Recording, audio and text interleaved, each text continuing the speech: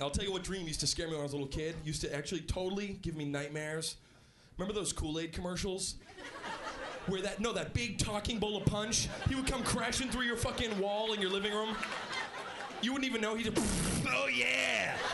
Oh yeah. Oh yeah. right? And the little kids were all excited. Yes, yes. And then they would drink out of him after debris fell in his open, dumb head. He would pour himself. Oh yeah. Oh yeah.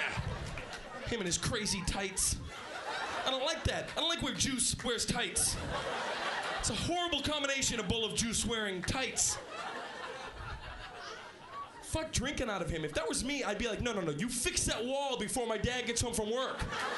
He's gonna beat me with a belt. He's not gonna believe a talking bowl of fruit punch came in here. You stupid idiot. Yeah, coming through the wall is real fucking cool. Using the front door is cool. Don't touch me, you drink. Don't touch me, you giant beverage. You are sweating or condensating. I will kick you in the tights and you will go down You're very top heavy. You glass bitch. You glass bastard. Oh yeah. Oh no. Naughty, naughty Kool Aid.